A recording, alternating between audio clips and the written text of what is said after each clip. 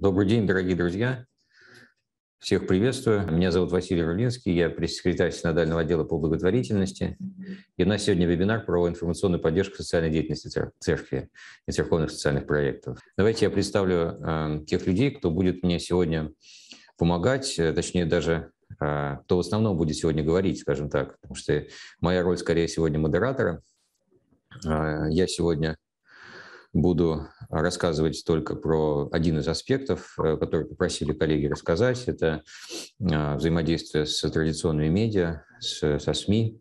А, все остальные аспекты в большей степени расскажут мои дорогие коллеги. Давайте их представлю. Это Светлана Кислова, руководитель пресс-службы а, Успенского собора Екатеринбурга, руководитель э, многих информационных, ну как она, в общем, создавала информационную службу православной службы милосердия Екатеринбурга и пресс-секретарь главы социального отдела Екатеринбургской епархии отца Евгения Попеченко. Светлана, ты нас слышишь? Мы с Светланой давно знакомы, поэтому я позволю себе называть ее на «ты», да? Светлана, скажи нам, что... Рада приветствовать. Как слышно меня? Тебя слышно отлично. А, сегодня с нами э, будет э, также Илья Агафонов. Илья – это редактор новостей сайта милосердие.ру. С нами сегодня также будет выступать, э, делиться опытом Эльвира Парфенова. Это руководитель, директор по фанрайзингу и коммуникациям Дома слепоглухих Фучкова. Эльвира, приветствую вас. Слышите? Добрый день, да, слышу. Да. Меня слышно? Да, да, замечательно. И также сегодня будет выступать Свет... э, Кристина Арзуманова. Это э, SMM, э, пресс-службы Синодального отдела по благотворительности. Э, Кристина, тоже поприветствую, пожалуйста, всех. Да, здравствуйте, всех рада видеть. Со многими уже знакомы. Да, отлично. Давайте тогда эм, начнем нашу работу. А, о чем мы сегодня будем говорить? А, я напомню, в рамках сегодняшнего э, нашего, сегодняшнего нашего такого занятия, встречи, обмена опытом, мы поговорим о том вообще, как рассказывать о добрых делах, что самое важное в информационной деятельности, как работать в социальных сетях, что хорошо работает, что не очень в информационной деятельности, и как привлечь, собственно, волонтеров, помощников, сотрудников жертвовать через информационную работу, и на какую поддержку при службе синодального отдела могут рассчитывать церковные социальные проекты. А, про это в большей степени расскажет Кристина, э, прежде всего про социальные сети, э, и я расскажу про остальные аспекты. А, начать я хотел бы с работы со СМИ, самые базовые вещи, которые тоже люди спрашивают многие, поэтому хотелось бы поделиться. Я вот работаю пресс-службе синодального отдела по благотворительности вот 11 лет, и некоторый а, опыт, может быть, э, не самый грандиозный, но тем не менее какой-то у меня есть, поэтому хотелось бы поделиться какими-то основными положениями, основными идеями в этом направлении. По поводу работы со СМИ. А, нужно сразу понимать, что а, журналисты – это люди, которые работают в таком информационном, в таком, в, такой, в таком режиме, когда у них э, сроки горят, вот, э, у разных людей горят они по-разному, но в любом случае они горят. А, при, при том, что э, у всех горят сроки, стиль у каждого журналиста свой, у каждого СМИ свой стиль. Поэтому нужно, конечно, отличать нам информационные э, агентства от телевидения, от э, э, печатных или интернет-СМИ. Там разные могут быть особенности. Э, и нужно сразу понимать, что если мы говорим про пресс-релизы, жанр такой, который э, никуда не делся, он все равно остается – то они обычно оформляются в жанре информационных заметок, информационных таких сообщений, которые можно увидеть на сайте информационных агентств. Хороший пресс-релиз – это тот, тот пресс-релиз, который можно, не, из, не изменяя, сразу же а, а, сразу же взять на ленту информационных агентств. Э, про это в большей степени, наверное, нам расскажет сегодня а, Илья Агафонов. Он поделится секретами о том, как, как а, в каком виде и что именно будет интересно а, представителям а, светских ну и православных СМИ. Чем мы обладаем? Что есть у церковных социальных проектов? Что может привлечь э, внимание журналистов? У нас, в принципе, есть два основных, скажем так, э, две основных возможности. Во-первых, это человеческие истории. Они сейчас в большей степени интересны всем, за ними гоняются, за этими человеческими историями. Вот. И а мы, как люди, которые помогают непосредственно людям, нуждающимся, естественно, мы э, рядом с нами, вот эти, вот эти люди как раз с этими историями, они и находятся. И поэтому, конечно, журналистам интересна необычная история, то, что нестандартно, э, то, что вызывает какое-то ощущение действительно, что это хочется дальше читать, интересоваться, знакомиться с этим. Ну, например, вот история про Марву из Судана, я люблю рассказывать, которая попала в наш дом для мамы московский. Она была э, э, беженкой из вот этой страны. Она не говорила на русском, она мусульманка, у нее дети, она причем совершенно модельной внешности, ее приютили в православном приюте помогли э, решить проблемы с э, гражданством, купили билеты на родину, решили проблемы с приемом ее там и так далее. То есть решили всю ее проблему. Естественно, это интересная история. Ее, естественно, захотел сделать Первый канал, по нее рассказать. Но мы ему помогли, мы предложили эту историю. Вот такие человеческие истории наверняка, ну, плюс-минус, да, эти истории могут быть разные, они э, есть у вас. И также другой аспект, который интересен журналистам, это информационные поводы. Они могут быть двух основных видов. Один информационный повод – это может быть повод, который а, не зависит от э, событий, а, происходящих э, здесь сейчас. Это поводы так называемые международные или всероссийские поводы, э, дни какие-то.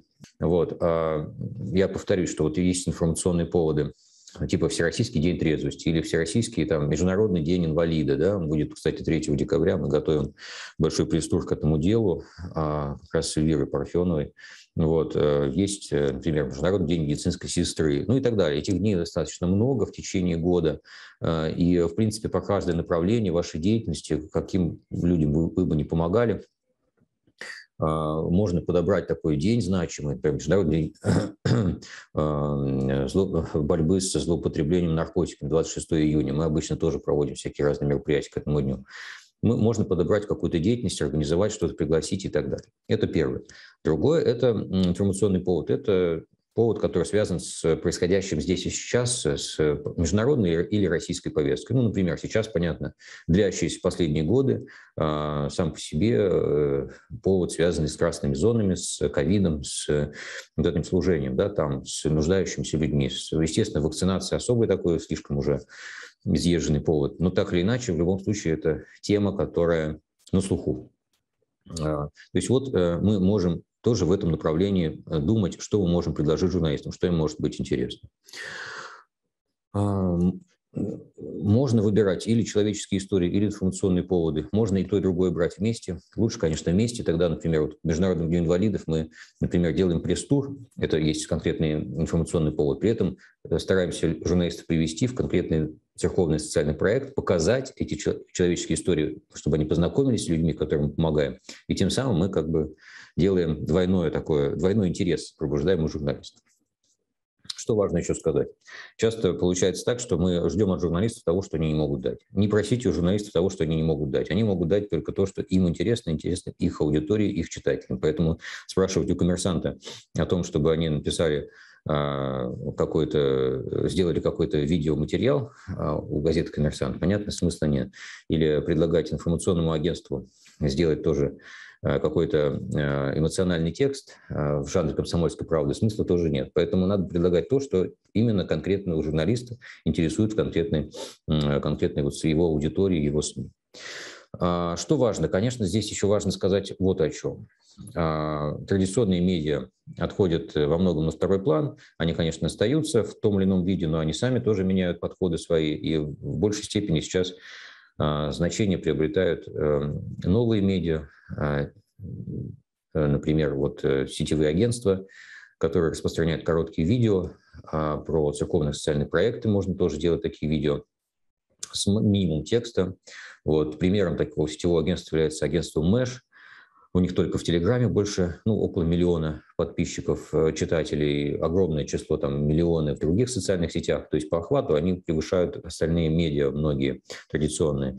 Есть там другие сетевые агентства, есть э, форматы, которые раньше невозможно даже было представить, они тоже э, воспринимаются по своему значению не меньше, не менее значимы, чем э, традиционные медиа. Но я не знаю, насколько это актуально может быть для региональной социальной деятельности, может быть, это в меньшей степени актуально. Там по-прежнему ключевую роль играют традиционные медиа, имеется в виду телевидение, радио и интернет-СМИ.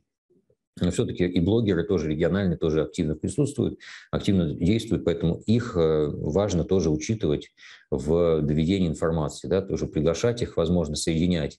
Например, когда мы приглашаем и журналистов, и блогеров, это, в общем-то, неплохо э, на какое-то мероприятие. Ключевые блогеры, это тоже, можно сказать, э, представители СМИ, может быть, даже более важные они. Э, если мы говорим про сам подход во взаимодействии. Э, конечно, важно дружить. Важно дружить, поддерживать личные коммуникации, личные э, хорошие отношения. А, они могут складываться из того, что журналист может попросить не то, что касается непосредственно деятельности вашей, а может спросить просто про какую-то церковную повестку, э, церковный повод. Вы можете, конечно, от него отмахнуться, и дружба не сложится, а можете ему что-то посоветовать по-дружески, перенаправить на кого-то, предупредить звоночком этого человека. И тогда, естественно, возникают какие-то дружеские контакты хорошие. Можно поздравлять э, с праздниками, с днями рождения и так далее. Это тоже важный аспект коммуникации. Я понимаю, что у каждого из вас вряд ли есть там целый штат пресс-секретарей, и сотрудников, а, отвечающих за взаимодействие со СМИ. И понятно, что обычно это функция, которая соединяет в себе и фандрайзера часто, и э, пресс-секретаря, и еще человека по другим вопросам. Э, в этом смысле, конечно, я понимаю ваши трудности, поэтому надо концентрироваться на самом главном. Самое главное – это ключевые СМИ а, вашего региона, ключевые блогеры вашего региона. А, не тратьте сильно внимание и силы на нишевые такие СМИ, которые только в своей какой-то конкретной аудитории работают, потому что вы все равно не, не сможете в большей степени ими заниматься. Вот. И усилия, конечно, надо направлять на то, чтобы активно присутствовать, постоянно присутствовать в социальных сетях. Про это коллеги мои сегодня расскажут поподробнее. Вот. А если мы говорим про взаимодействие со СМИ, если у вас будет хотя бы 2-3 хороших информационных повода, хороших информационных каких-то а, темы, которые можно в течение года предложить журналистам, это уже хорошо, учитывая ваши ограниченные ресурсы. Вот. Их можно разбить по времени, понимать, там, первые там, три месяца, вторые три месяца, еще три месяца. Вот примерно так вот разбить как-то, может быть, четыре этих повода будет Э, вот это открытие чего-то нового в вашем проекте, по какому-то поводу можно сделать мероприятие интересное, пригласить журналистов, э, сделать какой-то выезд, показать им что-то. Да, вот это, конечно, было бы хорошо. А, теперь еще скажу про другие форматы, про которые э, нужно тоже помнить, они существуют. Это формат комментария на, на какое-то конкретное событие. Иногда его спрашивают комментарии сами журналисты, иногда нам что-то самим важно прокомментировать. Э, комментарий обычно это короткий жанр, это текст э, в нескольких, э, там, 4-5 предложений, с описанием такой типа пресс-релиза на какой-то повод, который произошел, имеющий отношение к социальной деятельности, к социальным аспектам каким-то, либо позицию какую-то мы выражаем. А, есть еще формат такой, а, это совместный проект с каким-то конкретным СМИ. А, он, я знаю, в некоторых регионах реализуется. Мы берем какое-то ключевое СМИ региона или ключевого блогера региона и э, с ним пьем чай, договариваемся о том, чтобы они, например, рассказывали периодически на рубрика или какой-то раз в месяц какой-то делать что-то, да, про социальную деятельность, э, что интересно самому там блогеру или журналисту конкретному, или этому главному редактору этого издания – и силами их журналистов или силами этого блогера э, он сам делает этот материал, а мы, собственно, э, предлагаем обычно какие-то героев, заходы, интересные темы, интересные повороты. Э, вот это, в принципе, хороший жанр, потому что работа ведется самими журналистами, самими блогерами, а мы только как бы упаковываем это все, ну, не упаковываем даже скорее, а предлагаем исходно материал, из которого, собственно, производится этот продукт. Вот. Э, есть еще формат, которым пользуются некоторые а, коллеги, он очень хорошо тоже сейчас популярный, популярность приобретает, это приглашение в ваш социальный проект известных людей. Ну, не знаю, наверное, в каждом регионе есть более-менее известные люди.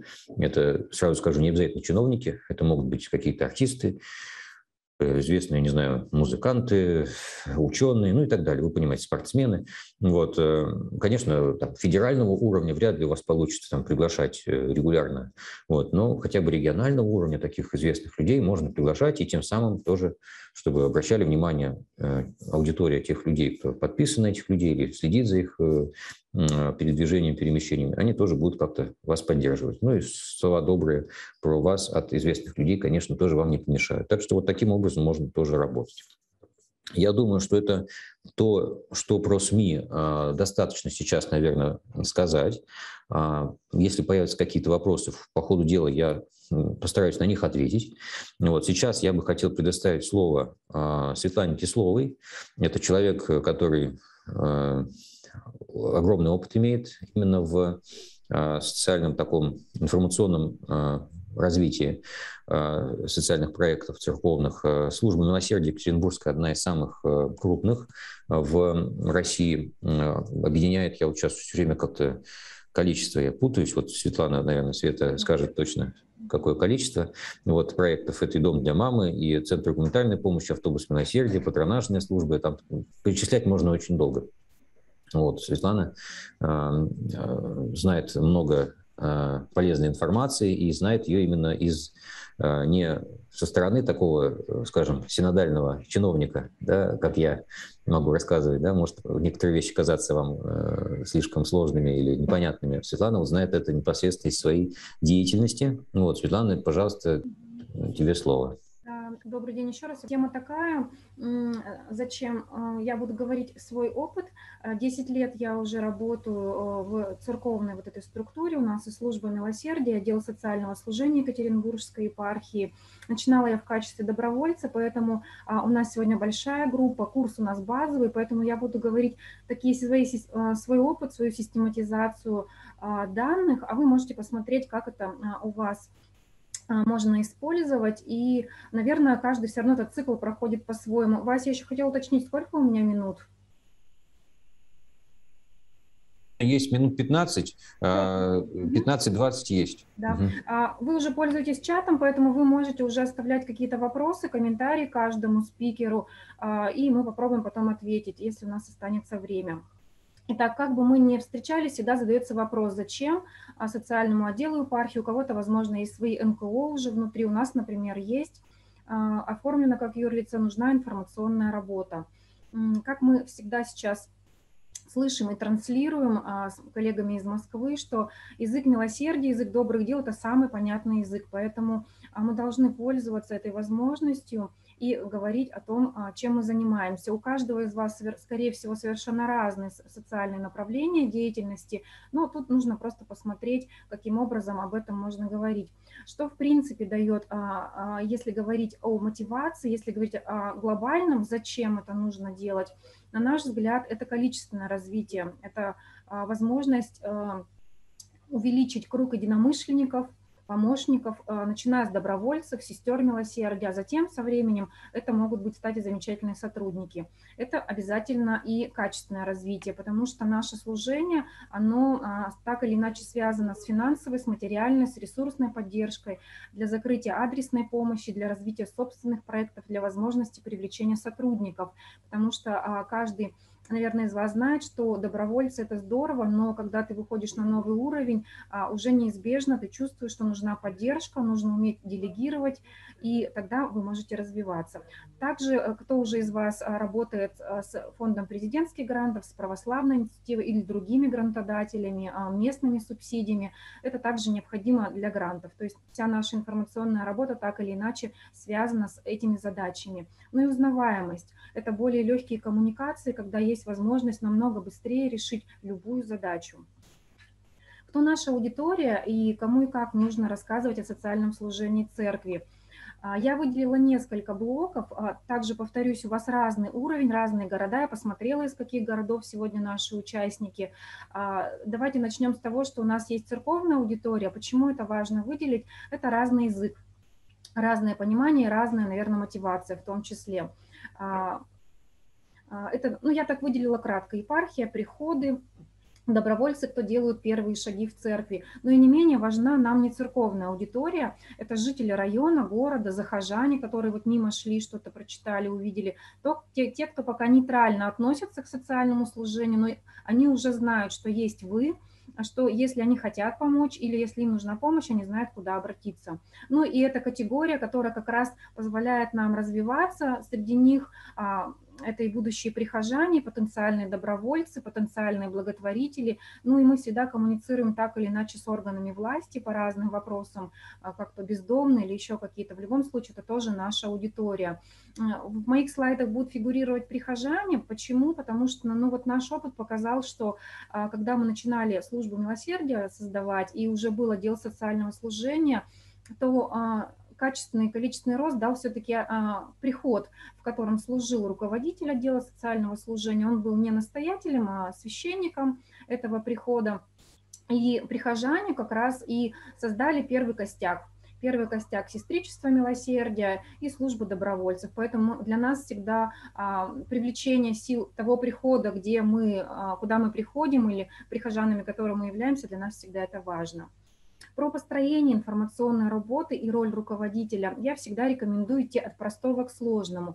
Думаю, у вас совершенно разный опыт, а, да, а, стартовые позиции у всех чаще всего разные, но вот с чем чаще всего мы сталкиваемся, что мне говорят а, что мешает да, развиваться. Это отсутствие опыта, времени, перегруженность, мотивации, не видим ничего интересного, у кого-то есть очень сильная боязнь вообще СМИ, фото, видео и так далее. Это все можно прорабатывать, это все можно и нужно прорабатывать. И а, что я всегда рекомендую, что не нужно делать все самому, обязательно нужно искать помощников и учиться делегировать, а, поверить, если кто-то сомневается, что это не нужно, что, социально, а, что информа, информационное сопровождение социальной деятельности это важно и нужно. И важно, чтобы это стало интересным именно для вас. Будет интересно вам, будет интересно и остальным. Вот. Это всегда возможность оперативно отреагировать на церковную внешнюю повестку, то, о чем вот только что говорил Василий. Ну а при звонке СМИ, когда говорят, что вот это сложно, да, всегда можно делегировать а, и просить о помощи а, при службу епархии, а, ну или получить какие-то консультации. Что касается нашего опыта на старте, когда я начинала, а у нас все были добровольцами. Все это человек, который тогда только появилась социальная сеть ВКонтакте, и у нас открылся первый сайт. Это все были добровольцы, причем именно мой опыт в Екатеринбурге таков, что у меня нет ни одного профессионального журналиста. А, ну так случилось. Поэтому мой опыт показывает, что это не обязательно должен быть профессиональный ну, журналист. Можно работать а, с людьми самых разных профессий, но я к этому чуть попозже вернусь. Ну и что вот лично для меня информационная работа, а, это не только работа со СМИ. Василий очень правильно говорит, что это важный сегмент, и до него нужно иногда и дорасти, потому что не каждый день у нас есть такие поводы, которые могут быть интересны для СМИ, но это как раз показатель качественного и количественного роста. А, провод журналиста, да, что э, и помощника, это не всегда за оплату, не всегда профессиональный журналист. А, как вот я сейчас себе пример написала, что вот, например, сестры милосердия а, ухаживают за больными лежачими и обрабатывают пролежни. Заверю вас, что ни одна из большинства из них никогда этим не занимались. Они прошли обучение, научились этому, и среди них остались те, кто кому нравится это делать, у кого это талант, да, и а у кого есть способности к этому. Вот поэтому у нас есть самые разные формы обучения, чтобы посмотреть, найти, выявить и помогать обучать людей, кто мог бы заниматься информационным сопровождением нашей социальной деятельности, потому что, соглашусь, это, если честно, и трудозатратно, и энергоемко, потому что любой текст, любая фотография, любое видео – это наша жизнь, это проживание, это передача чувств и эмоций, и это не такой не сухой текст, который просто ну, написал и закончил. Если вы будете передавать свою энергию, вы будете передавать свою радость или переживание, это обязательно люди почувствуют даже через экран телефона и включатся. Ну, информационная работа, да, это командная работа и общий результат руководителя, помощника, той команды. Есть исключения, когда руководитель берет эту функцию на себя, а, который находит в этом свою какую-то обратную связь, получает. Есть а, и священники, блогеры, есть, у нас вот есть в Серове а, руководитель социального отдела, отец Алексей, но он просто потрясающе ведет социальные сети и сам в том числе, и он в этом находит какую-то свою пользу, в том числе миссионерские задачи выполняет. Ну, это реальная связь с внешним миром, чтобы мы не, не были замкнуты сами в себе, потому что социальное служение – это все-таки человек-человек, и это возможность донесения своих ценностей, это, то, это те реальные истории, где не нужно ничего придумывать. Каналы информации, которые хорошо работают, собственные каналы. Я выделила чаты и мессенджеры, в любом случае мы ими пользуемся. Я предлагаю их использовать для коммуникации с добровольцами, с вашей командой, потому что это тоже обмен информацией, это такая внутренняя, как раньше говорили, там на заводах газета корпоративная, да, это вот внутренний такой корпоративный источник социальные сети. Чуть позже я скажу про то, каким образом мы выбирали и в каких соцсетях мы были. А, у кого есть талант видео, а, донесения информации через формат видео, а, то то же самое. Вы можете почувствовать, когда у вас достаточное количество видео и хорошего качества, всегда, пожалуйста, вы можете запускать свой видеоканал и пользоваться им так же, как ну, любой другой социальной сетью. А, также я а, указала стенд прихода епархиального управления, смотря где вы находитесь, а, где базируетесь. Макеты объявления тоже никто не отменял, и для меня это тоже информационная работа. Вот мы когда начинали, соцсетей еще не было, даже и сейчас мы не пренебрегаем этим каналом, мы им пользуемся. Макеты, какие-то важная информация всегда там присутствует. Сфотографировал человек, воспользовался, когда необходимо. Это, например, и касается там, куда принести вещи, телефон диспетчера, который принимает звонки и так далее и тому подобное. Ну и сайт. А, церковные каналы я выделила как пресс-служба епархии, у которых тоже есть свои а, ресурсы информационные. Коллеги вот синодального отдела, ой, прошу прощения, коллеги, я не опечаточку сделала, а, у которых тоже есть свои ресурсы, и этим тоже можно пользоваться, когда вы что-то публикуете у себя, они всегда подхватывают. И светские каналы, вот это и городские СМИ, и органы местного самоуправления, у которых тоже есть свои каналы коммуникации. По поводу команды, где взять помощников и как определить их функционал. А, напомню, да, что мы стартовали с позиции прихода, потому что понимали, что тут уже люди более-менее знакомые, какие-то послушания в приходе были. Но вот Первое, что приходит всегда обратиться к своим, а, катехизатор, соцработник, молодежный клуб, воскресная школа. Можно начать с любого, потому что понять, кто а, талантлив в этом, нужно только попробовав. Кто-то может сам из числа прихожан первым откликнется, а кто-то может социальную сеть прочитает, что вот, например, вот недавно коллеги объявили, что у них три вакансии, а, позвонит и узнает. А, что и как. А, я написала «Человек с улицы» плюс профессиональные знания, мотивация. Я думаю, что такие примеры тоже есть, а, и многие люди достаточно быстро проходят погружение в церковную среду, начинают приступать к таинствам, исповеди и причастия. И иногда мне кажется, что иногда этот путь даже более такой эффективный, потому что у человека есть мотивация, он узнал о церкви, о Боге, и он очень хочет а, послужить своими профессиональными знаниями. У нас такой дизайнер вот появился, который с нами 10 лет, а, человек, который у нас ведет наши сайты, создает, системный администратор, вот они все пришли с улицы, ну вот прихожане, добровольцы храма. Выделила я также главные страхи новичка, что с ними делать. Не умею писать, а, нет профессионального фотоаппарата, некому наполнять соцсети, напишу что-нибудь не то. А, всегда рекомендую, ну да, в нашем направлении, как и в любом, наверное, всегда нужно постоянно учиться, читать социальные сети коллег, чтобы увидеть, а как они это делают. Мне кажется, это лучший пример. А, привлекать простите, еще раз опечаточка, необходимые ресурсы через коммуникации, просить о помощи. Мы часто думаем, что если нам что-то, чего-то не хватает и, и ничего не происходит, то вот что с этим делать? Но я всегда говорю, что нужно об этом кому-то рассказать. Я могу рассказать на своей личной страничке в социальной сети, что вот я ищу такого-то человека или, на, или мы такой-то проект готовим. Самое важное не замыкаться в себе, а делиться своей проблемой, и обязательно Господь пошлет решение. А, обязательно нужно согласовывать с руководителем, это дает поддержку, опору, ну и молиться. Поиск информационных поводов, что может быть интересного в социальном служении. А, это я так набросала, а, возможно, у вас свой опыт, но как, когда не знают, с чего начать, вот я написала, что можно начать с банального, рассказывать, когда служатся молебны о здравии, о кафесте, семье, то есть есть самые разные входы, в том числе то, что уже всегда есть. Например, в вашем приходе а, или ваш руководитель, который а, внесет послушание в этом храме. Фото с места события с краткой подписью, когда говорят, я не умею писать тексты. Подписать фото может каждый. А, главное, чтобы указать, что там происходит, и фото должно быть хотя бы одно хорошего качества.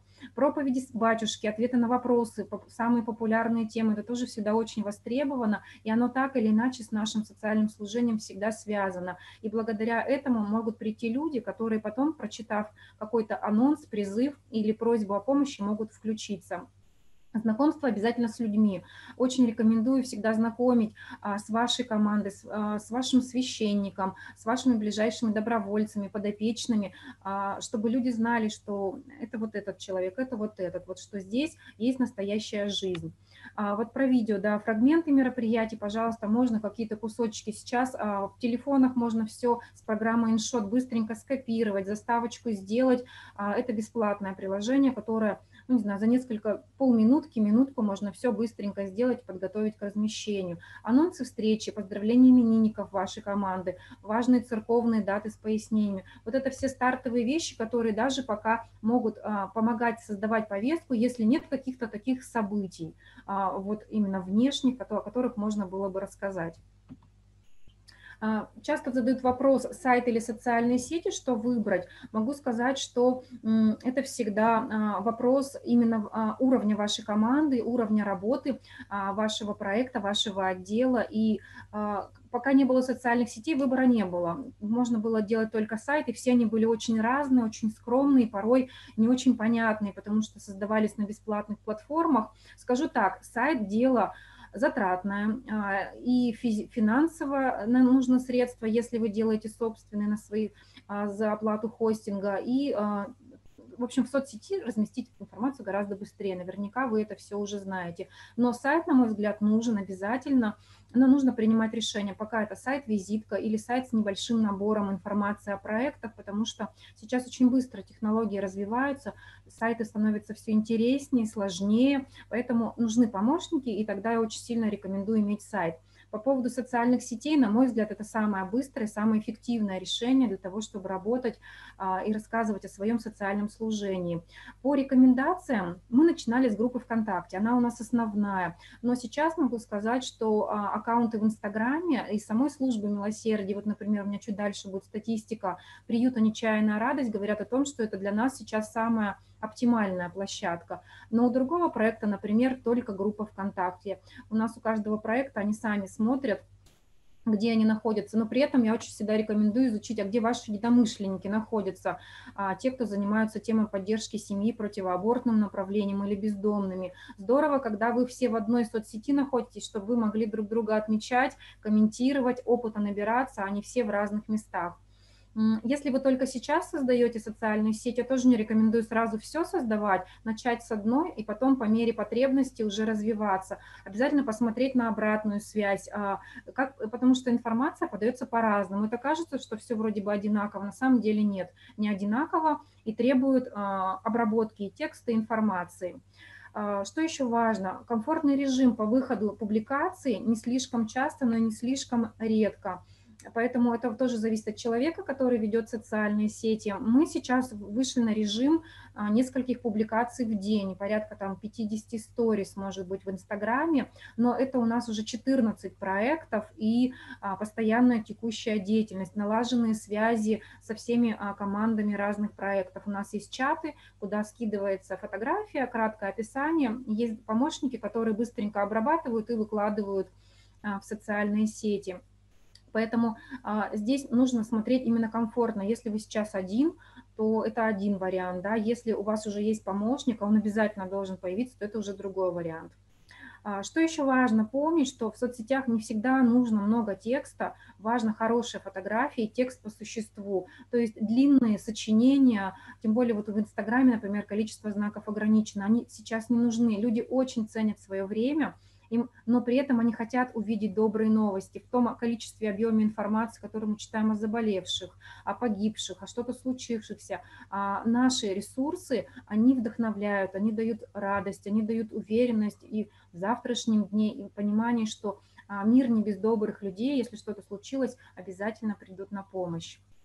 Вот пример социальных сетей, а, э, аккаунта службы милосердия 2700 подписчиков, и вот привела я пример аккаунта а, «Нечаянная радость», это вот кризисный центр, у них вот уже полторы тысячи подписчиков, это основной аккаунт, и ведет Ирина Наврос, вот она его и руководитель. У нее получается совмещать, но уже тяжело, вот сейчас мы будем искать ей помощника. Ну и вот чем могут быть полезны соцсети? Я тоже человек, которому важно а, иметь мотивацию, зачем я это делаю. А, ну вот вчера я собрала статистику, и по нашей статистике а, в анкете 90% новых добровольцев, которые приходят на собеседование, указали, что они узнали о службе и захотели помогать ближним, прочитав в соцсетях или поисковый запрос в интернете отправив. А, через СМИ, ну вот наша статистика показывает, что узнали менее 10%, но это так действительно. И вот, например, еще чем могут быть полезны соцсети в качестве э, такой мотивации. Вот у нас приют «Нечаянная радость» через свою соцсеть в Инстаграм закрывает 100% своих потребностей. Мамы постоянно меняются, кому-то нужно то, кому-то это. А, все сборы закрываются благодаря одной соцсети. Ну, это тоже для нас очень здорово. И это возможность показать, как проект развивается, насколько люди доверяют ему, ну и показывать о новостей, их новости. Ну вот, если кратко, надеюсь, я уложилась в свое время. Вот, я закончила.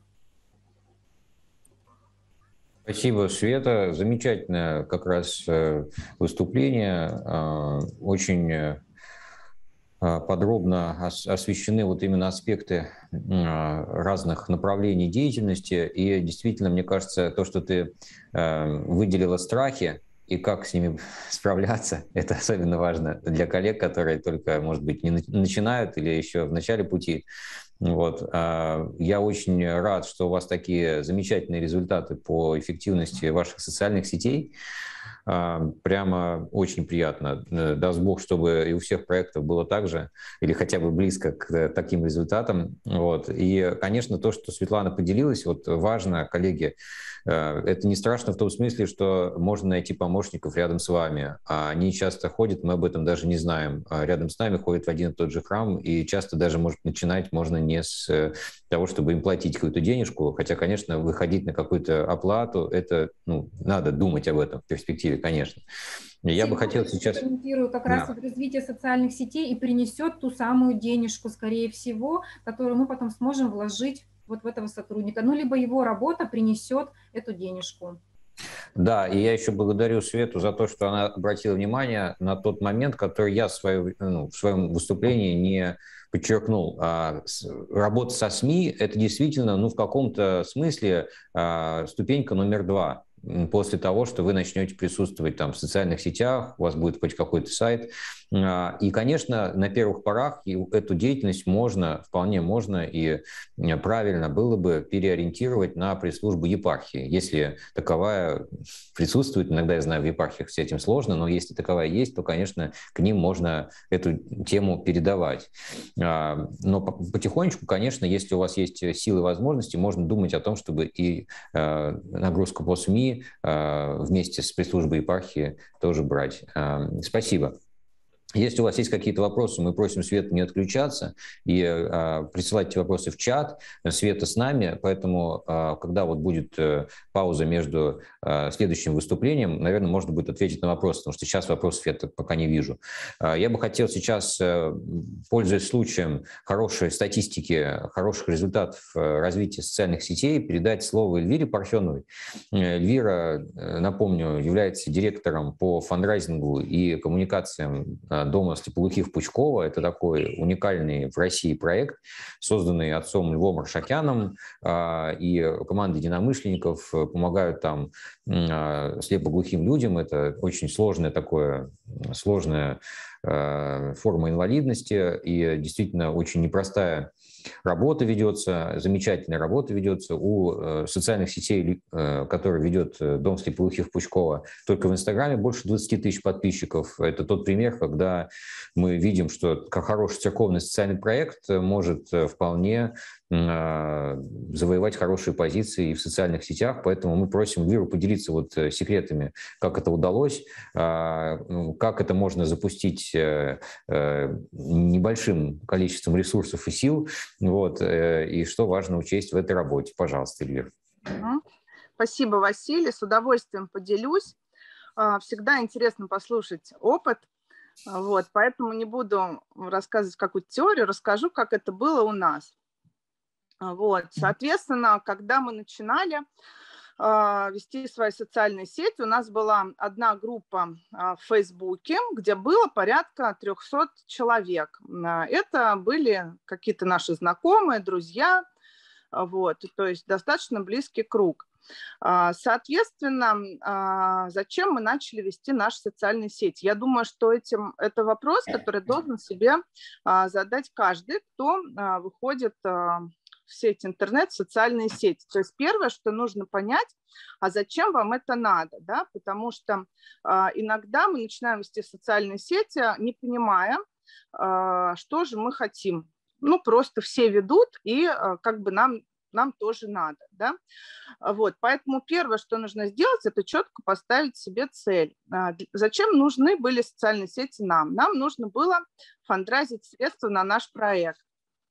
А, потому что, а, соответственно, мы должны были расширять количество а, тех организаций людей, которые нам помогают.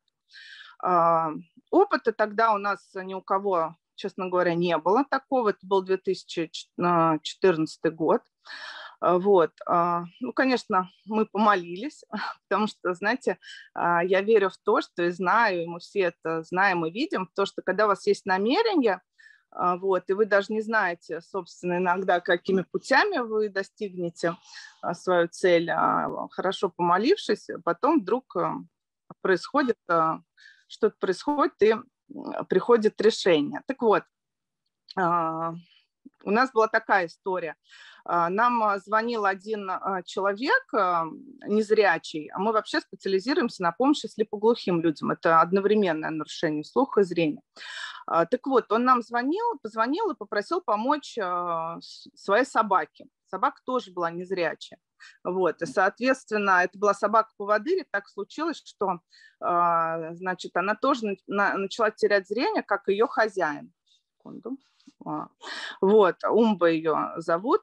А, мы объясняем, что мы не специализируемся на помощи животным, но он так слезно нас просил, Игорь Евгеньевич, что мы махнули рукой и просто решили, ну давайте попробуем, да, что э, просто напишем текст, что вот э, незрячий человек собирает на операцию своей незрячей собаки, а, вот, а, давайте кто сколько может соберем, и сумма к сбору у нас была 60 тысяч рублей.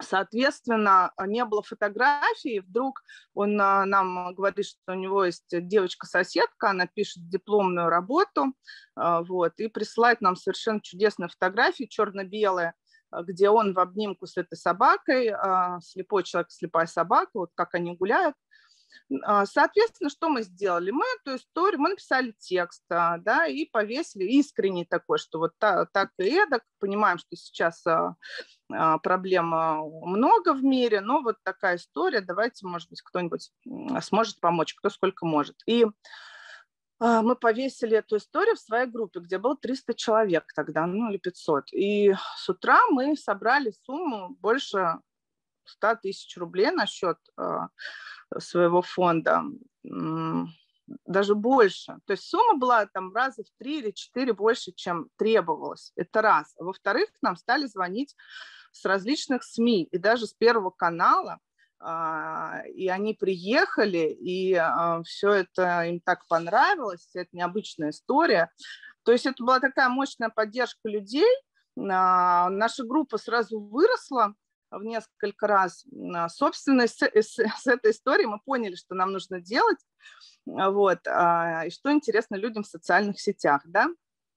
То есть все начинается, конечно, с, с модного слова контент. Это то, что вы будете в своей группе публиковать. И когда у вас появляются а, какие-то интересные истории, или вы а, уже сами начинаете писать а, в таком интересном ключе, то к вам, во-первых, и СМИ сами начнут стучаться, вот, а во-вторых, и люди будут подписываться и откликаться. А, то есть первое, да, что а, нужно понять цель, а, зачем вам группа, и второе, контент, который вы собираетесь там выкладывать. Еще важно понять, для кого вы будете писать в своей социальной сети. То есть кто те люди, которые должны на вас подписаться. Наши подписчики в наших социальных сетях – это так называемые друзья дома слепоглухих. То есть мы формируем сообщество друзей дома слепоглухих, тех людей, которые готовы дому слепоглухих помогать. А, у нас есть отдельное сообщество для наших подопечных. То есть а, мы поняли, что лучше это разделять, потому что тот контент, который интересен нашим подопечным и тем, кто помогает этим подопечным, он немножко разный. То есть слепоглухим людям интересно одно, и информация должна быть а, в другом ключе преподноситься. А тем, кто хочет помогать э, нашим слепоглухим друзьям, им совсем другое интересно. Поэтому вот это две ключевые вещи, а, зачем вам группа и кто, собственно, в ней должен присутствовать, а, я бы а, всей командой, которая имеется в наличии, даже если команда из двух человек состоит, сначала вот просто села бы и для себя определила, да, то есть что же мы ждем от наших социальных э, сетей. Сейчас у нас три социальные сети активны, хотя когда мы тоже, опять-таки, мы стали работать с Фейсбуком плотно, а, стали приходить жертвователи оттуда, а, потом мы решили, что нам надо открыть группу ВКонтакте, э, в Одноклассниках и вообще во всех социальных сетях, которые есть. Инстаграм тогда еще только э, развивался а, и стали везде один и тот же контент постить выкладывать. И со временем мы поняли, что, во-первых, каждая социальная сеть имеет свою специфику. Facebook – это одна специфика. Это деловые э, люди, они более состоятельные, но и информация им, соответственно, должна преподноситься немножко в другом ключе, нежели пользователям из одноклассников, например. Да? Вот. Контакт – это социальная сеть, где присутствует в основном, это молодая социальная сеть, так скажем, самая молодая, то есть там много подростков, много а, молодых людей, там тоже свой а, угол подачи информации. Вот, поэтому со временем одноклассники мы отбросили, потому что каждая социальная сеть – это ресурс. Надо понимать, что э, ресурс всегда ограничен. Вот. Сможете ли вы а, обслуживать сразу несколько социальных сетей. Или лучше сконцентрироваться на одной-двух. Вот для того, чтобы понять, какая социальная сеть вам подойдет, а, сначала нужно понять, кто же ваша аудитория. И потом, соответственно, отталкиваясь от вашей аудитории, подумать, где же она присутствует. А, постепенно мы вышли на сеть Инстаграм, а, сейчас это наша ключевая сеть, а, соответственно, там у нас порядка 22,5 а, тысяч подписчиков, сегодня утром было 22,5 тысячи. На Фейсбуке сейчас порядка 8 тысяч подписчиков, и ВКонтакте порядка 3 тысяч подписчиков. ВКонтакт можно развивать и дальше, более активно. У нас сейчас на это просто не хватает ресурса. Мы сосредоточились пока на Инстаграм в основном. Ну и Facebook, Instagram, у них один владелец, поэтому там вообще можно галочку поставить, и у вас автоматически все будет дублироваться из Instagram, сразу а, э, на Facebook появляться. А, но опять-таки, нужно ли вам это, потому что аудитория немножко разная. Вот. В Инстаграме аудитория в основном женская, а, молодые женщины, которые наша аудитория, которые э, хотят сделать что-то доброе, хорошее для мира. В основном это даже не воцерковленная аудитория, Вот, поэтому мы еще э, такой себе цель поставили э, катехизации такой, да, то есть э, хотим показать, что у церкви совсем не страшное архаичное лицо, и что церковь делает много добрых дел, то есть вот какой-то такой целью себе тоже ставим улучшение имиджа, скажем так. Ну и, соответственно, сбор пожертвований, да, это наши две основных цели. А, так, что еще хотел сказать? А, сейчас, секундочку. А, значит, какой формат сообщений интересен сейчас пользователям? А, вот до меня а, сказала, спикер сказал, что это должны быть короткие сообщения, которые не перегружают человека информацией. На самом деле, а, например, для сети Facebook, мне кажется, что длинные сообщения хорошо идут, потому что там такая думающая аудитория, э, но должно быть сообщение интересное. То есть человек, если начал читать, ему э, должно хотеться читать дальше. Если это будет какой-то занудный э, да, текст, неинтересный, в духе там отчета, читать это, честно говоря, никто не будет. То есть Хорошо идут истории, они везде идут хорошо, и в Инстаграме, и на Фейсбуке. Только на Фейсбук мы можем позволить себе более длинный формат, где-то порассуждать, а в Инстаграм более короткий формат и а, обязательно качественная фотография. Это очень важно. Еще мы стали использовать видеоформат, тоже хорошо, а, они а, идут в сети Инстаграм, на Фейсбук. Все-таки лучше идут тексты, там более читающая аудитория. А, популярный формат Reels. Мы долго думали, как же мы в нашем доме слепоглухих можем использовать этот формат такой молодежный, с музыкой. А, решили попробовать и сняли одного нашего подопечного Александра, как он делает зарядку на свежем воздухе. Вот, наложили на это такую музыку детскую, веселую, занимайтесь зарядкой, что-то такое. И у нас а, там порядка 30 тысяч просмотров. И сейчас, даже если мы в эту музыку вводим, да, то первое, что а, вылезает по запросу, это наш Александр. То есть вот такие видео, они нужны зачем? Они увеличивают охват. То есть больше людей узнают о вашей группе. А, не все из них на вас подпишутся, но увеличить подписку можно только путем увеличения охвата. Другого способа нет. Вот.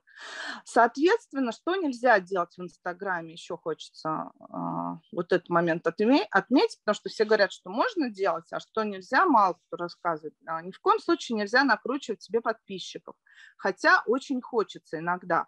Вы э, открыли страницу, да, и что дальше? У вас, например, вы подписались, э, какой-то еще ближний круг, э, прихожане, вот. А как дальше расширяться?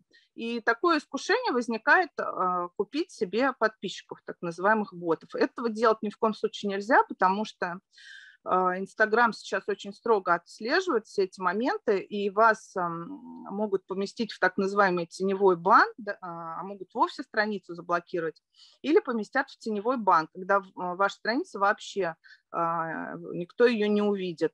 И вытащить из этого теневого бана будет очень сложно. Официально это нигде не прописано, что есть этот теневой бан, но на самом деле он есть. Поэтому не надо прибегать вот а, к этим способам. А, частая реклама может даже вам приходить, что давайте быстро мы вам сейчас подписчиков. А, вот. Они вам вообще не нужны. То есть, во-первых, просто количество подписчиков, оно ни о чем не говорит и ничего не дает. Например, есть блогеры, миллионники, открываем их страницы, у них там несколько сот э, тысяч подписчиков, а если мы начинаем смотреть а, комментарии под, под их постами, а, ну, те же самые банальные лайки, да, мы видим, что активности никакой, собственно, там и нет. То есть, и бывает даже так, знаете, просишь там какого-то блогера, не, э, иногда бывает даже за рекламу люди платят, а, чтобы о тебе рассказали о твоей страничке, а выхлопа никакого нет, потому что у этого блогера по факту активной аудитории меньше, чем у странички, там какой-нибудь, да, там 10 тысяч подписчиков, но все эти 10 подписчиков – это живые люди, которые готовы в любой момент вам прийти на помощь, э, вот, и с вами дружат и, и общаются постоянно. Поэтому важно э, скорее не число какой-то подписчиков большое, а качество вот этой аудитории. То есть это должны быть действительно ваши друзья, э, ваша такая лояльная аудитория, члены вашего сообщества. Поэтому мы вот в Доме слепоглухих формируем сообщество друзей Дома слепоглухих. Мы так и называем.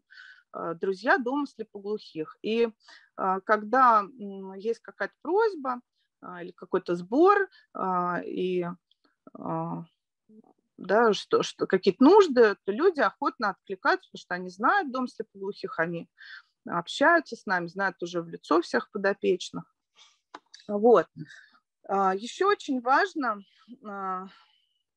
скажем так, сделать героем своей странички не себя, а, любимого. А, и даже, наверное, не а, иногда не, даже не тех людей, которым вы помогаете, а ваших подписчиков. То есть они на самом деле занимаются помощью, они занимаются благотворительностью. Вот, они меняют мир, а вы как бы такой проводник. Мы, да, мы такой проводник для них. Вот, соединяем вот этих людей а, и наших слепоглухих друзей. Вот.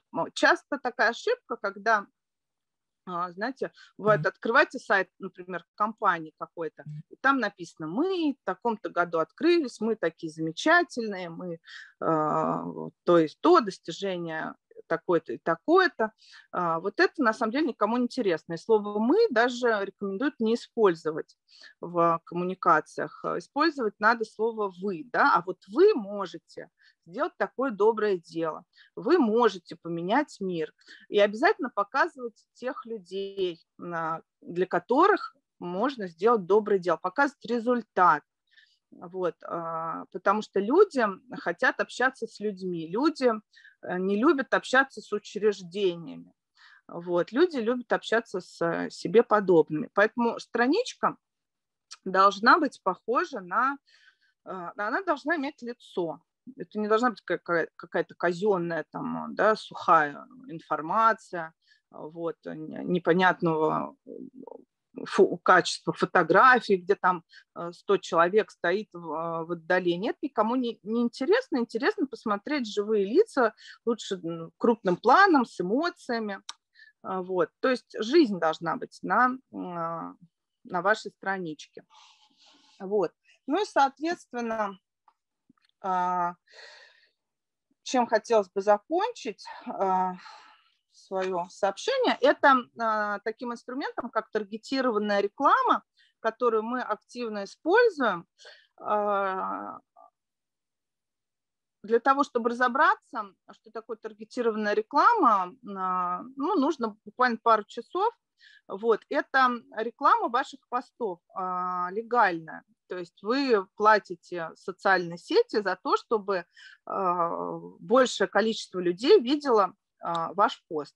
Вот, мы этот инструмент активно используем. А, но тут тоже нужно подойти с умом, потому что если вы напишете какой-то сухой, а, неинтересный пост э, и значит, запустите на него рекламу, отклика никакого не будет. Вот. А сначала нужно посмотреть, например, у вас уже есть страничка. Посмотрите, какой пост у вас вызвал наибольший ажиотаж. Проведите такой анализ. Если у вас еще странички нет, а, посмотрите а, на ту страничку, которая похожа на ваш проект. Или вы бы хотели, чтобы вот ваша страничка выглядела так. То есть поизучайте, посмотрите, какой а, пост вызвал наибольший отклик, где больше всего сердечек, где люди пишут э, какие-то свои эмоции, отклики. Вот. Если у вас есть такой пост, то именно он и будет э, тем постом, на который можно запускать рекламу. Э, и обязательно э, в конце этого поста оставьте призыв к действию. То есть вот что вы хотите. Например, подписывайтесь на нашу страничку да, то есть человек должен понять, вот он прочитал ваше сообщение, что ему нужно сделать. Подпишитесь на нашу страничку, приходите на нашу встречу, а, пожертвуйте нам денег, да, то есть что-то там еще. А, и, соответственно, человек увидит ваш пост с, обязательно с красивой какой-то фотографией, которая а, его зацепит, скажем так, а, увидит, что вы от него хотите, и сделает это действие. Да? То есть важно, когда вы запускаете эту рекламу, у вас прямо Инстаграм кнопочку дает продвигать. Вот вы на нее нажимаете, и там дальше все понятно, что вам делать. Вы сначала выбираете аудиторию. А, Инстаграм предлагает выбрать аудиторию, похожую на вашу, автоматически. Пока у вас э, страничка еще не очень раскручена, не надо этого делать. А, вы можете а, вбить, собственно, те характеристики, по которым вам нужно, чтобы Инстаграм вам подобрал аудиторию. Например, город. Да? Если у вас, у вас проект где-нибудь в Рязани, то вам не нужна аудитория там, из Краснодара и Москвы. Вы себе первую галочку пишете «Рязань». Дальше вы а, анализируете, вам все, вы хотите, чтобы все жители Рязани это увидели, или вам, например, интересно только там, а, интересно ли вам, чтобы 12-летние жители Рязани увидели это, или у вас есть какой-то возрастной ценз.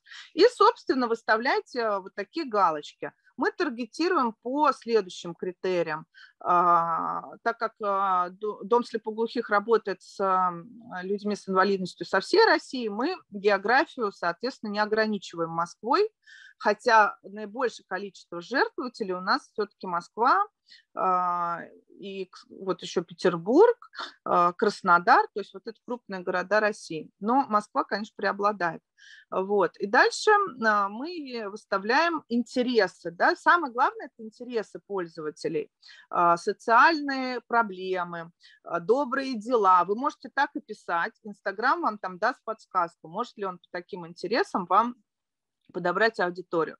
Дальше вы выставляете себе бюджет. Начните с небольшого бюджета, попробуйте, например, там 200 рублей в день. А, таргетированная реклама, это не значит это дорого, а, вот, там абсолютно любой бюджет можно выставить, вот, начать надо с малого, чтобы хотя бы просто посмотреть, у вас есть результат какой-то, отклик есть а, или нет. Может быть, этот пост э, не понравился аудитории, она на него к вам приходить не будет.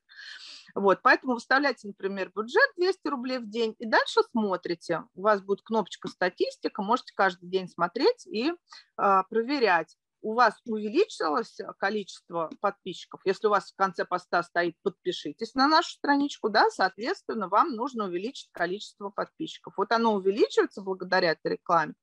Если у вас а, в конце поста стоит призыв а, «пожертвуйте», а, да, на, на такое-то дело, пожертвования идут или не идут, да, то есть вот занимайтесь таким анализом. Соответственно, таргетированная реклама э, позволяет вам совершенно легально а, привлекать подписчиков на вашу страничку. Но а, есть такое правило, а, первое впечатление уже никогда, ну, очень сложно изменить. Поэтому подготовьте, пожалуйста, свою страничку к посещению людей, потому что если они придут к вам, это как в гости, вы пригласили людей, в гости к себе, а, сказали, что приходите, у меня тепло, уютно, я вас чаем напою, вот, а, настольные игры поиграем, а человек приходит, а у вас там грязно, э, чай холодный, да, и он думает, ну чего я сюда пришел, меня обманули, и разворачивается и уходит. Поэтому подготовьте свою социальную страничку к приему гостей. У вас должно быть уже а, все понятно. В шапке профиля обязательно должна быть информация, что вы, что вы за проект или а, что вы за храм, а, да, то есть что, что вы хотите от человека, собственно, там можно какие-то тоже призывы к действию. Поизучайте странички, вот еще раз, проектов, которые успешные, вот как у них, надо посмотреть, как у них шапки профиля. Шапка профиля, это вот Инстаграм, там вот первые вот эти строчки, да, там, если человек частное лицо, он пишет, там, Иванов э, Петр, там, плотник, быстро вам построю шкаф, например, да, за три дня, звоните сюда. Вот. Обязательно контакты должны быть указаны. И когда ваша страничка готова к приему гостей, э, когда у вас есть какой-то уже контент интересный, а, тогда уже начинайте приглашать, используя инструмент таргетированной рекламы. А, Ну, наверное, собственно, все. Если есть какие-то вопросы, то с удовольствием отвечу на них, делюсь еще. Может быть, что-то упустила. Эльвира, спасибо огромное. Действительно, замечательный э, опыт. Э, мне до глубины души, я поскольку сам, в общем, знаю эту историю про слепого дедушку и слепого, сослепшую собаку-поводыря, и то, как мы пытались тоже а, эту историю э, разным СМИ тоже предлагать, и действительно все это успешно, многим это нравится, история действительно. Я помню, а, и спасибо огромное. Я не знал, что именно с нее во многом начал, начался такой путь развития активный. Да. Очень приятно, очень приятно, да. И а, Дом слепоглухих мы в качестве одного из ведущих церковных социальных проектов активно поддерживаем.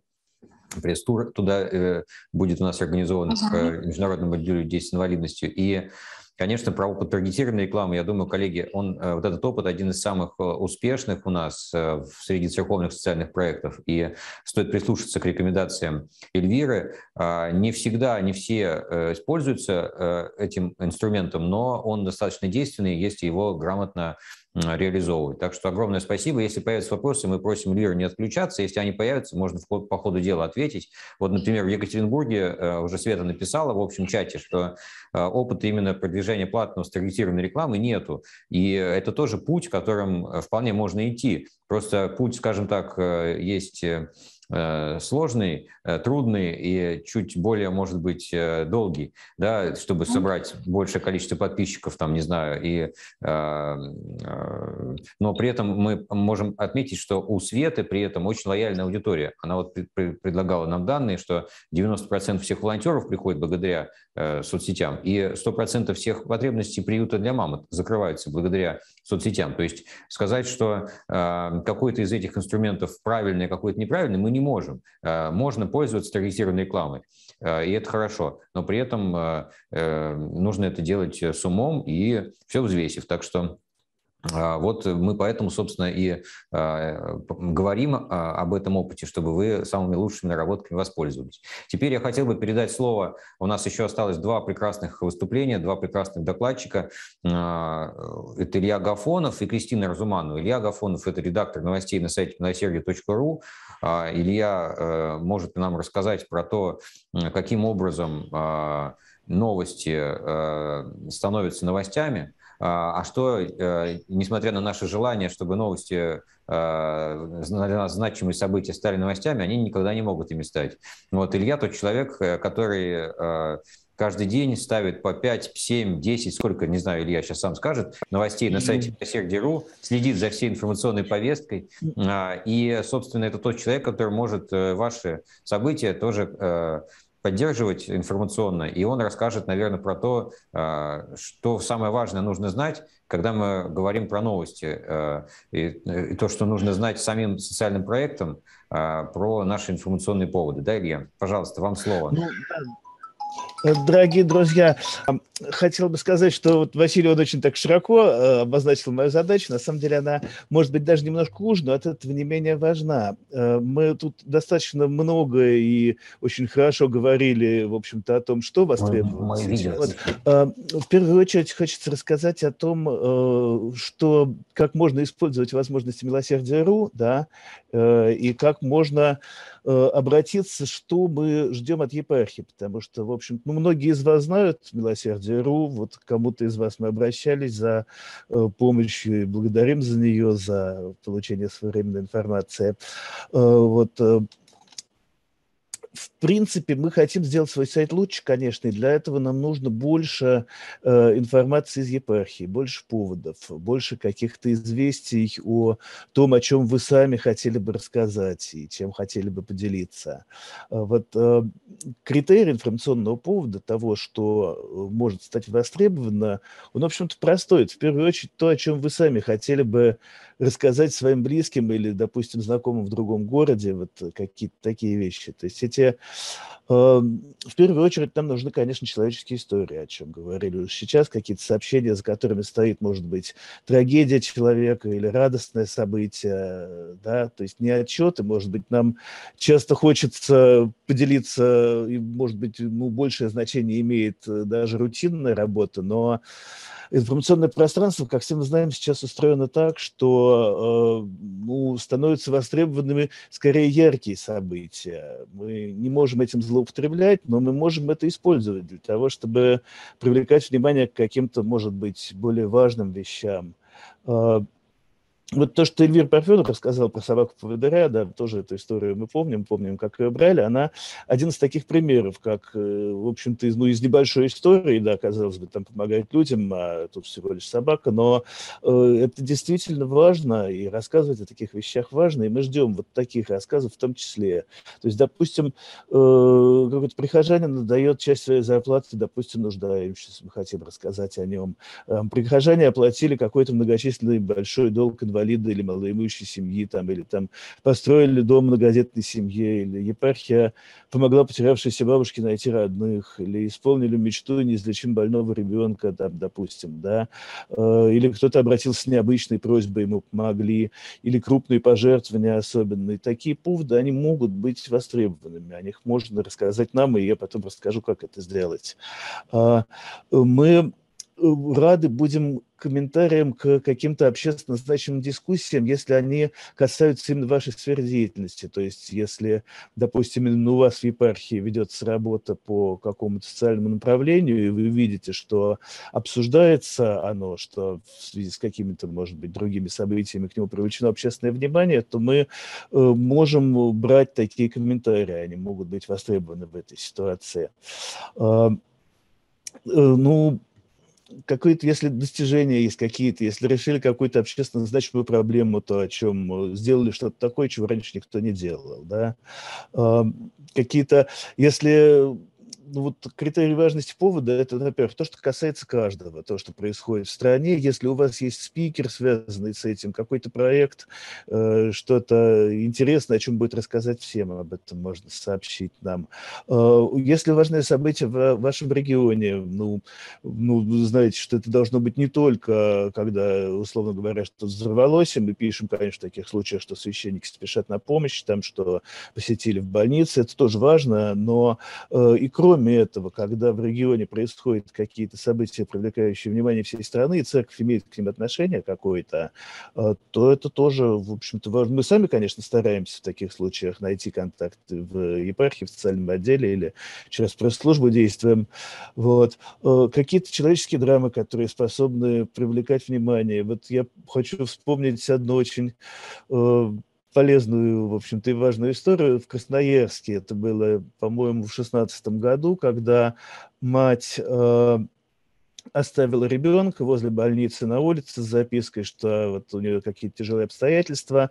И я, насколько помню, глава социального отдела выступил тогда в местных СМИ, и мы, в общем-то, тоже на милосердие руль дали об этом э, новость. И через какое-то время мы с радостью узнали, что мать э, прочитала это обращение и пришла, вернулась за ребенком, ей оказали помощь, потом, если правильно помню, э, ходатайствовали даже перед следствием, чтобы освободить ее от наказания.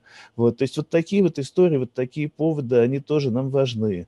Э, что-то в благотворительном секторе, ну, то есть как бы как э, если ваша, ваш, э, допустим, ваш отдел или ваше НКО или какие-то ваши приходы, ведущие социальную работу, они сделали что-то необычное с точки зрения сектора, или что-то, допустим, узнали какие-то знаковые факты, увидели важные закономерности интересные, а, допустим, какие-то особенные акции или сборы проводят, об этом мы тоже, конечно, можем рассказать. Мы вряд ли есть смысл информировать о каждой локальной акции, то есть, ну, всегда всюду где-то кто-то на что-то собирает, где-то что-то кто-то делает, деятельность она ведется всегда. Но бывает, ну, в общем, тот, кто делает это, он сам видит, что делает, допустим, то, чего не делал до сих пор никто. Это интересно, важно, об этом можно и нужно рассказать. Э, конечно, далеко не все из того, что вы нам пришлете, пойдет в новости, но с нас не убудет. Посмотреть лучше присылайте.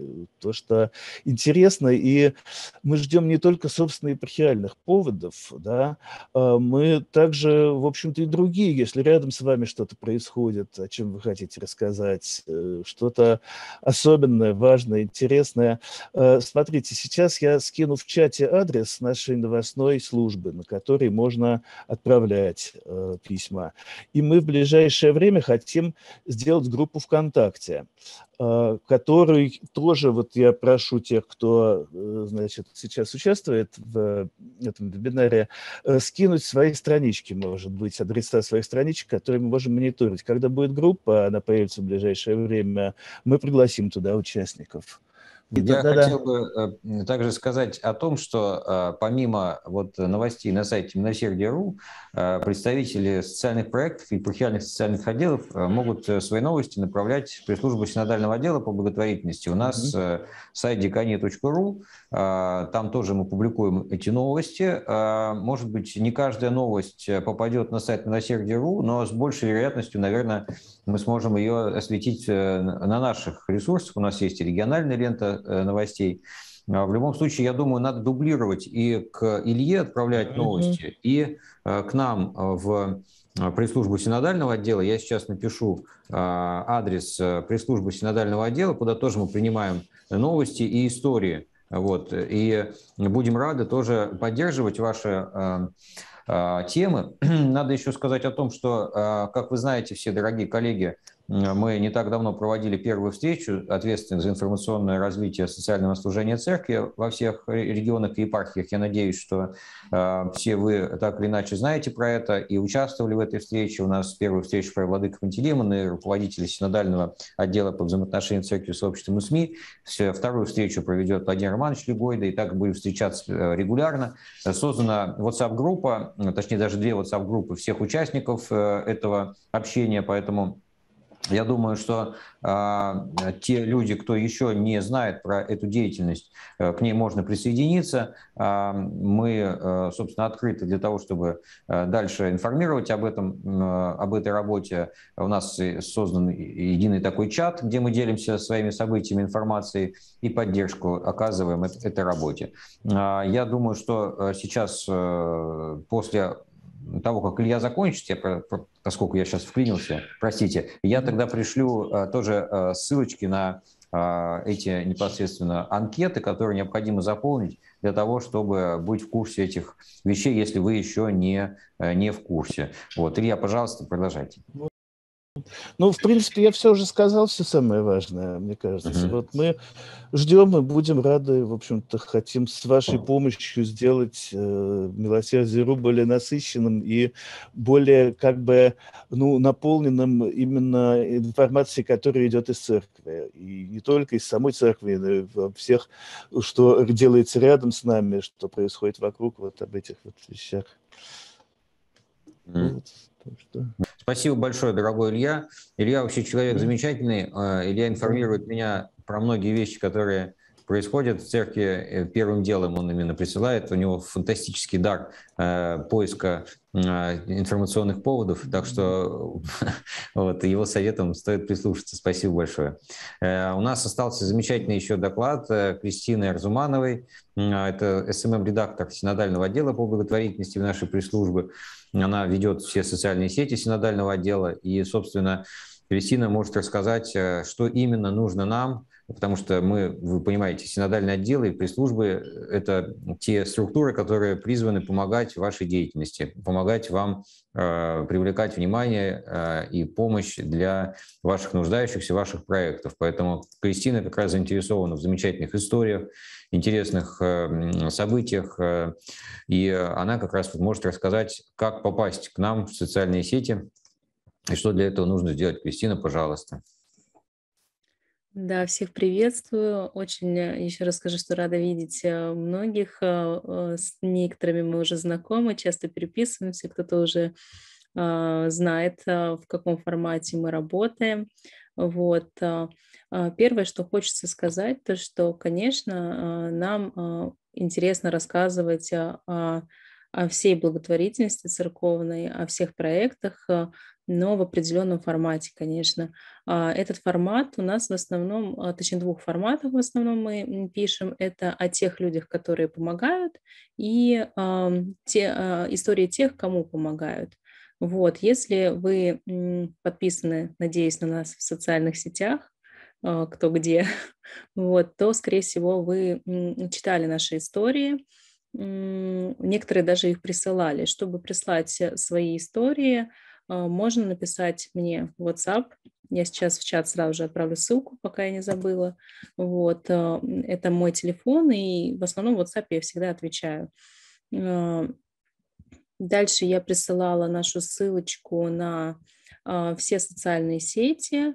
Сейчас еще раз ее продублирую. Вот у нас эта ссылочка прикреплена в Инстаграме. Активная ссылка. Здесь у нас есть вся информация о нашей работе, в том числе социальные сети, ссылка на наш сайт. Вот. А, по социальным сетям, например, в Инстаграме. Надеюсь, что все подписаны. А, можете в чате написать, у кого есть э, в Инстаграме страница, у всех ли есть, или кто-то ну, не ведет вообще в Инстаграме? Кто какую вообще социальную сеть э, активно ведет, или вы присутствуете во всех? Вот это хотелось бы тоже узнать.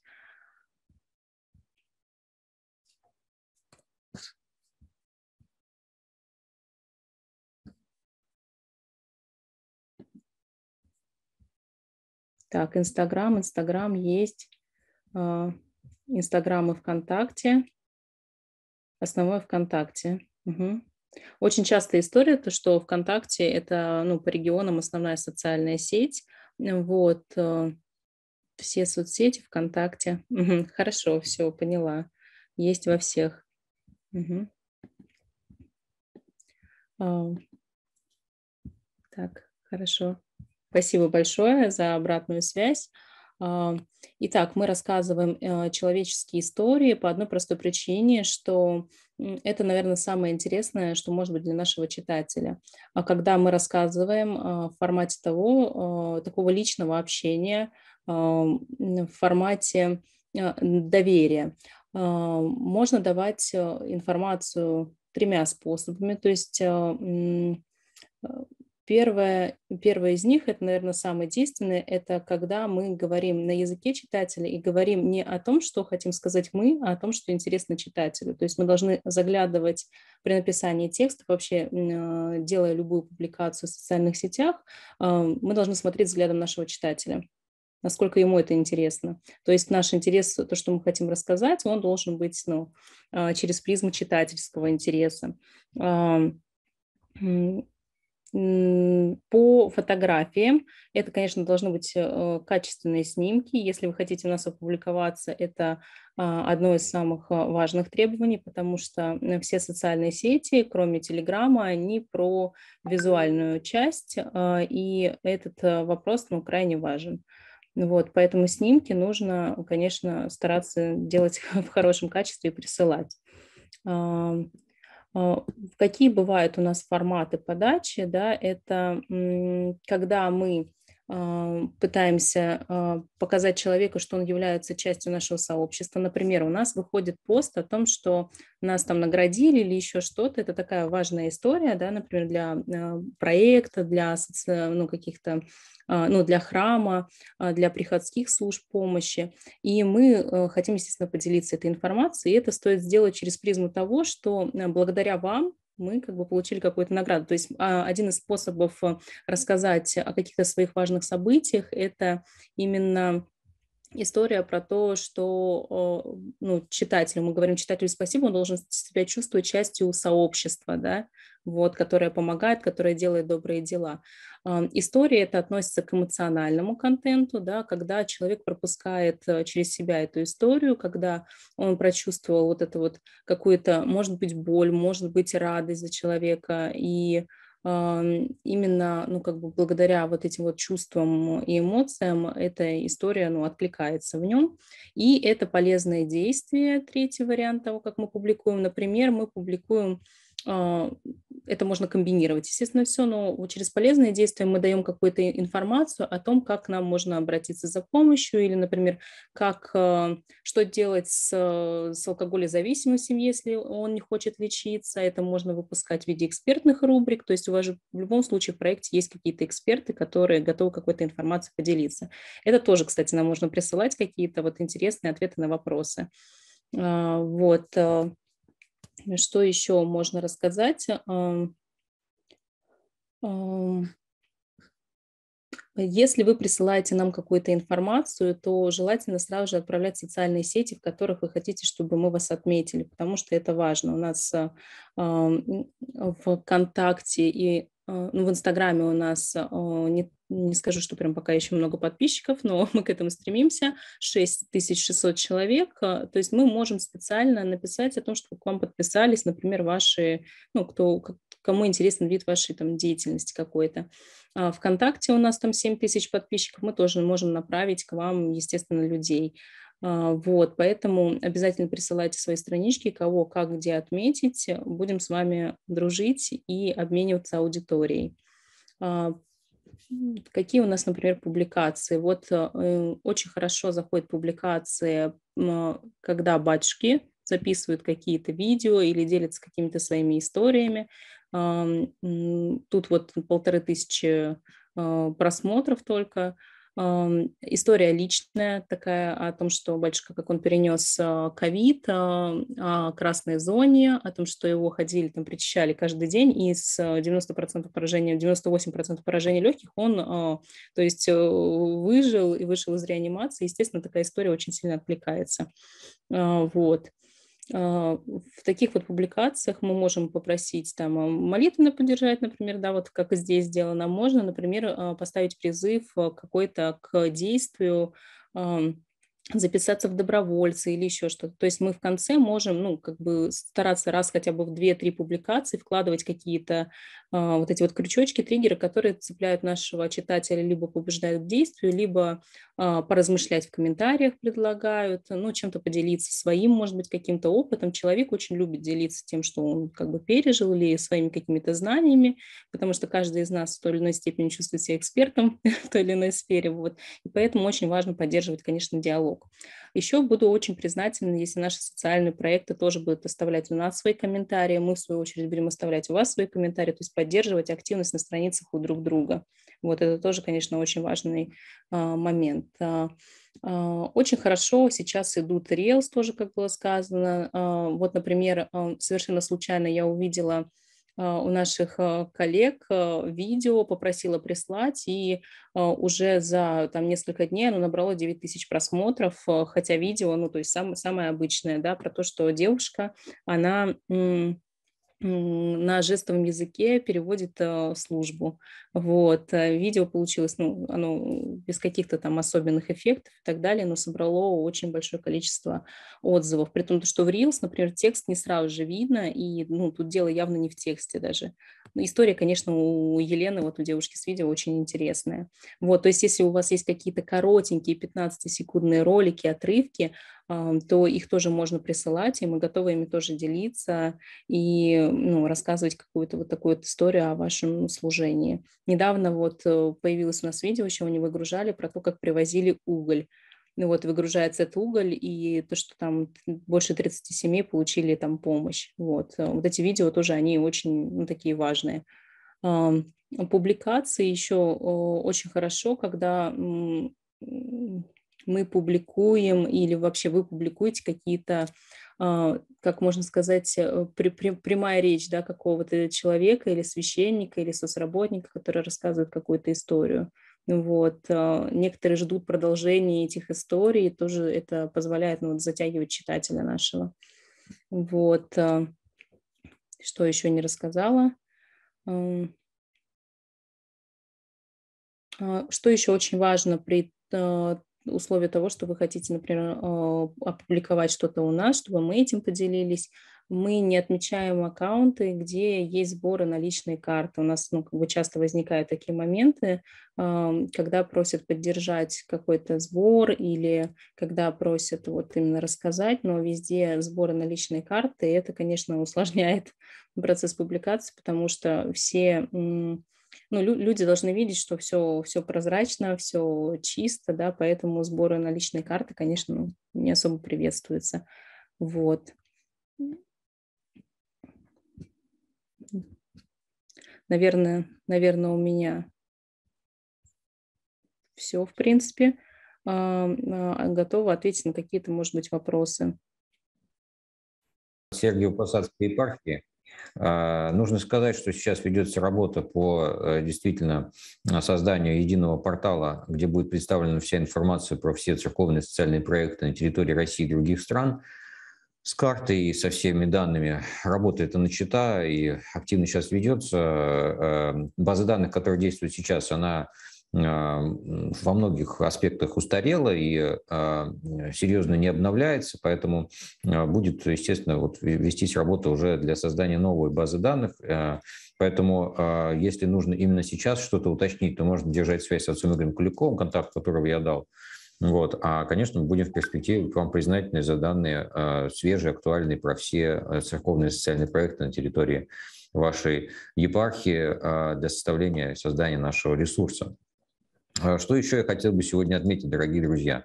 А, я вижу среди вас многих а, участников нашего, нашей предстоящей, нашего, во-первых, общения в WhatsApp. То, что касается вот именно нашего постоянно, нашей постоянной коммуникации с, со всеми ответственными за информационную работу. Если кто-то еще не, еще не участвует в этой работе и хочет к ней присоединиться, чтобы быть в курсе всех последних событий, а, своими поводами, новостями а, и предлагать для поддержки, совета. В общем, вот это все, конечно, можно делать тоже. Мы будем рады, если вы тоже присоединитесь.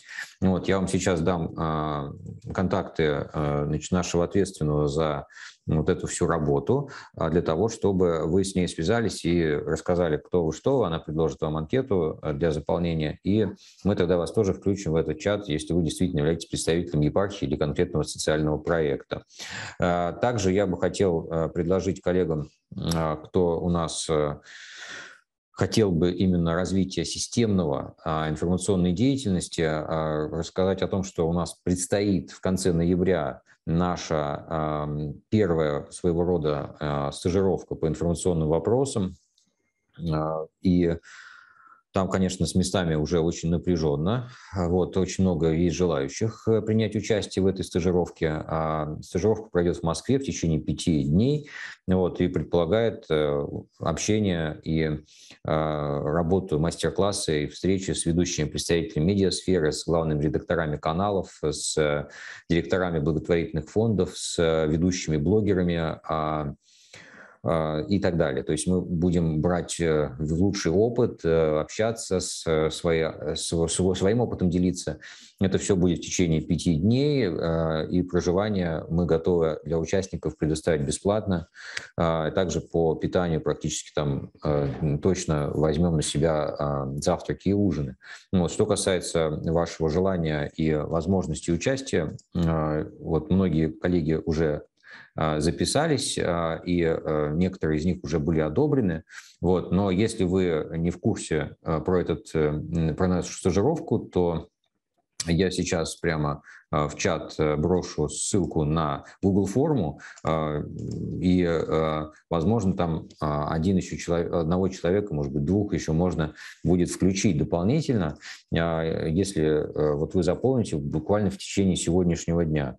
Вот потому что программа уже практически полностью сформирована, вот в списке все поданы, поэтому это, как говорится, вот совсем последний вагон вскочить. Вот.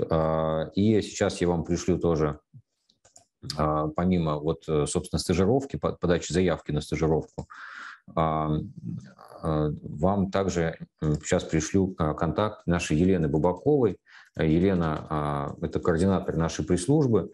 А, с ней можно связаться, если вы хотите, чтобы мы вас э, включили в а, наши группы в WhatsApp для общения. Э, и она вам предложит вот заполнить э, простую анкету, рассказать о том, какие проекты вы представляете. Контакт Лены вам прислал. Вот, с ней можно связываться лучше по WhatsApp. Вот. А теперь, а, если остались какие-то вопросы, давайте их обсудим. А, их можно, в принципе, озвучивать, писать в чат. А, ну, если вопросов больше нет, то ну, давайте какое-то время дадим еще подумать, коллеги. Если как что-то осталось еще, давайте все ясно, да, понятно. Ну вот. А давайте тогда еще раз поблагодарим всех наших дорогих участников. А, мне кажется, было очень интересно сегодня послушать про опыт коллег. А, и мне кажется, многие вещи действительно важны и полезны для представителей регионов, для представителей социальных проектов. Надеюсь, что мы будем продолжать наше общение приглашаю вас к нашему такому сотрудничеству и совместной работе. Спасибо, всего доброго, до свидания.